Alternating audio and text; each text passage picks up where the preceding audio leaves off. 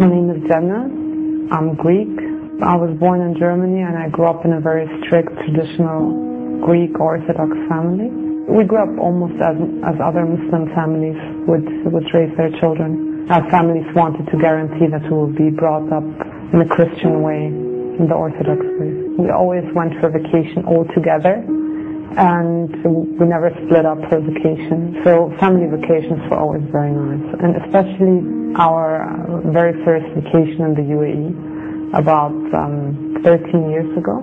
I was I was like 12, 13 years old, and we the first week we stayed in, in the country. We did a tour all over the UAE. Um, and it was on a Friday when we were on the way to uh, to a souk. Suddenly the adhan came on for for the time for the prayer time, and uh, everything stopped. People stopped their cars, took their prayer rugs, and just go out and pray on the streets.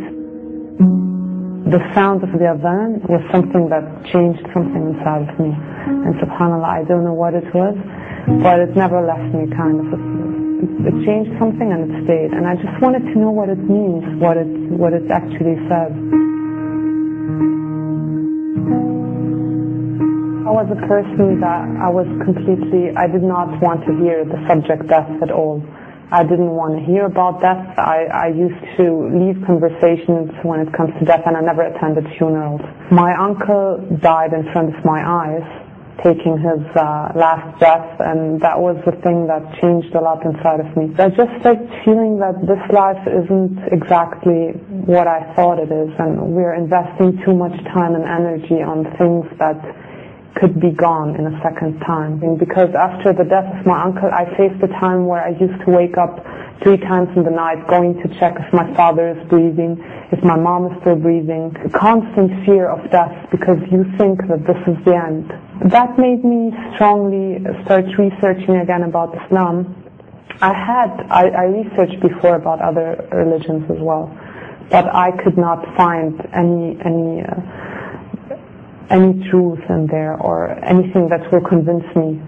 Um, when I started reading about Islam, I found all the answers that I could not find in my own religion. The fact where I got really convinced was when I read the biography of Prophet Muhammad sallallahu alaihi wasallam it reminded me so much of what we used to know and read about um, Jesus, Isa, alayhi salam. So I, I, started reading and reading, and, and, this person seemed to be such a noble person with such amazing characteristics, uh, with a personality that uh, I think I've never read something similar like that before. Um, after reading the biography, I was convinced that everything I know about Islam, I have to delete it and just start reading from zero onwards and, and get my own my own research and, and get my own facts about this religion because obviously everything I knew before was wrong. It was it didn't take a long time to to find out that Islam is the truth and that there can't be any other religion in the world than this. Although I got convinced about Islam, I was scared to say the Shahada. I was like, yeah, it's the right thing. I might, you know, take this, this, uh, logic and, and this way of life inside of me, but I won't ever be able to accept Islam because of my parents and my family. I knew that they will never accept it and that if they would ever get to know something like that, my life would change dramatically. So I met a girl in, in Germany from she, she's from Egypt. Her name is Noha. She helped me a lot because I met her right when I started praying to really to find the truth, to you know get more courage in, in, in what I'm doing. We got to know each other. We talked about Islam. She started explaining everything to me, you know, all the questions that I had because I was convinced. I knew it's the truth. I knew my religion was wrong and that I couldn't live like that. After meeting Noha, I think one or one and a half months later, I took my Shahada in Germany, in the student dorms. It was supposed to be just me and her, but somehow Muslim students got to know that someone is going to convert to Islam, so I had about 20 people in the room afterwards. So alhamdulillah, I had many witnesses.